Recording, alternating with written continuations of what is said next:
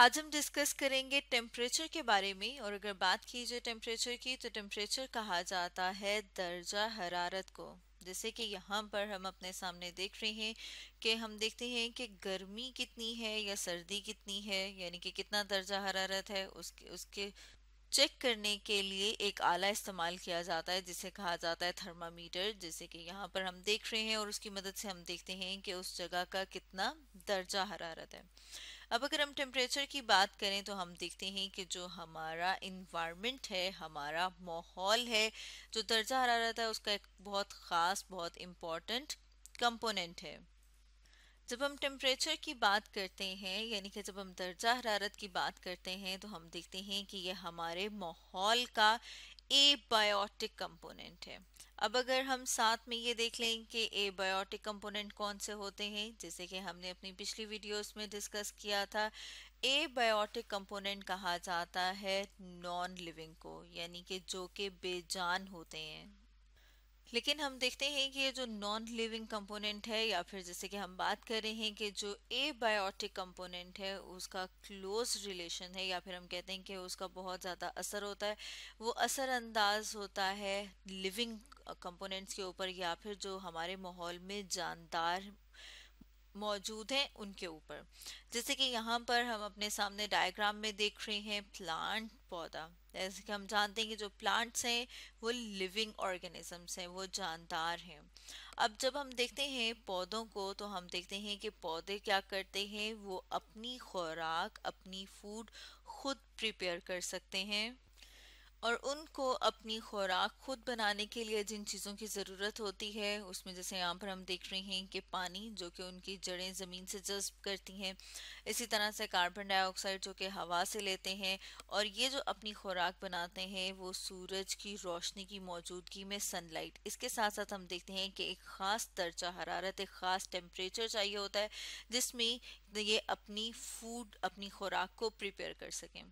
अब जैसे कि हम बात कर हैं कि जो टेम्परेचर है, वो किस तरह से अटेन किया जाता है या फिर हम कह सकते हैं कि जो सुटेबल टेम्परेचर है, वो किस वजह से होता है? वो होता है सनलाइट की वजह से। यानी जो सूरज की रोशनी है या फिर हम कह रहे हैं कि जो सूरज की मौजूदगी है, उसकी वजह से जो टेम्परेचर होता है, अब वो क्या होता है? हम देखते हैं कि टेम्परेचर हम देखते हैं कि सर्दियों में क्या होता है? कम होता है। इसी तरह से गर्मियों की बात की जाए तो उसमें टेम्परेचर या दर्जा हरारत ज़्यादा होता है। जिसकी वजह से हम देखते हैं कि कुछ पौधे जो हैं वो सिर्फ़ और सिर्फ़ सर्दियों में ग्रो करते हैं, जिन्हें कि हम कहते हैं कि वो कौन से हैं? वो विंटर प्लांट्स हैं। इसी तरह से अगर हम बात करें तो हम देखते हैं कि कुछ पौधे जो हैं वो सिर्फ़ और सिर्फ़ गर्मियों में ग्रो करते हैं और उन पौधों को हम क्या कहते हैं कि वो हैं? समर प्लांट जो टेम्परेचर है, दर्जा हरारत है, वो हमारे माहौल का एक और एबायोटिक फैक्टर जिसे कि वाटर कहा जाता है, उसको मेंटेन करता है। जैसे यहाँ पर हम देख रहे हैं वाटर साइकिल अब ये जो वाटर साइकिल है, अगर इसको हम देखें तो जैसे यहाँ पर हम देख रहे हैं कि हमारे माहौल में या फिर हमारी ज़मीन में क्या मौजूद है, हमारे पानी मौजूद है। जैसे यहाँ पर हम देखते हैं कि यहाँ पर फॉर एग्ज़ाम्पल हम कहते हैं कि क्या है? सी यानी के समंदर है। या फिर अगर कोई दरिया भी मौजूद है तो उधर क्या मौजूद होगा? पानी मौजूद होगा। पानी जो है, जब सूरज की तपिश, सूरज की रोशनी जब उसके ऊपर पड़ती है तो वहाँ पर क्या होती है? एवेपोरेशन यानी कि जो पानी है, वो वाटर वेपर्स की फॉर्म में आ जाता है, वो आबी बुखारात की फॉर्म में आ जाता है। अब ये जो वाटर वेपर्स की फॉर्म में आ गया है, जैसे यहाँ पर हम देख रहे हैं तो ये क्या हो गया अब यहाँ से ऊपर, इस जगह पर जो वाटर वेपर्स हैं, वो इकट्ठे होना शुरू हो जाते हैं, जमा होने शुरू हो जाते हैं। इसके साथ साथ यहाँ पर हम देख रहे हैं कि हमें नज़र आ रहा है कि जो पानी है, उन्हें पौधों की जड़ें जज्ब करती हैं। तो वो किन में आ गया? यहाँ पर हम देख रहे हैं, वो पौधों में आ गया। अब पौधों में एक ख़ास किस्म का अमल होता है, जिसके ज़रिए से पानी इनके पत्ते की सरफेस से इवेपोरेट होता है। जिसे हम कहते हैं इवेपो ट्रांसपायरेशन यानी पानी जो है वो यहाँ से वाटर वेपर्स की फॉर्म में कहाँ पर आ गया? इधर यहाँ पर ऊपर, अब यहाँ पर जब ये इकट्ठा होता है, जैसे कि यहाँ पर हम देख रहे हैं कि ये कंडेंस हो रहा है, इकट्ठा और एक जगह पर जमा हो रहा है तो ये कंडेंस होते हैं तो फिर इसके बाद क्या बनता है? यानी वाटर वेपर्स जब कंडेंस हुए तो फिर बन गए क्लाउड्स यानी बादल बन गए हैं। जैसे कि यहाँ पर हम अपने सामने डायग्राम में देख रहे हैं कि हमें बादल नज़र आ रहे हैं। यहाँ पर जो टेम्परेचर है, जो दर्जा हरारत है, वो कम होता है। तो ये जो वाटर वेपर्स हैं, ये कंडेंस होके बादलों की फॉर्म में आ जाते हैं क्लाउड्स बन जाते हैं। अब ये जो क्लाउड्स हैं, जैसे कि आपने देखा होगा कि वो क्या होता है हवा के ज़रिए से एक जगह से दूसरी जगह भी पहुँच जाते हैं। अब जब इन्हें कोई सुटेबल जगह मिलती है, कोई मुनासिब जगह तो वहाँ पर क्या होती है? प्रेसिपिटेशन प्रेसिपिटेशन क्या होता है?